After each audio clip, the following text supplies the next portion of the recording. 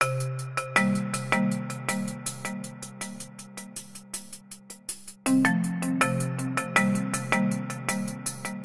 first appearance of fascia is that matrix, that mesenchyme, that primitive meso tissue. And we know in embryology that the body is organized the organism is differentiating itself in fields, different fields of metabolism, different mechanical fields. There come differences in the body.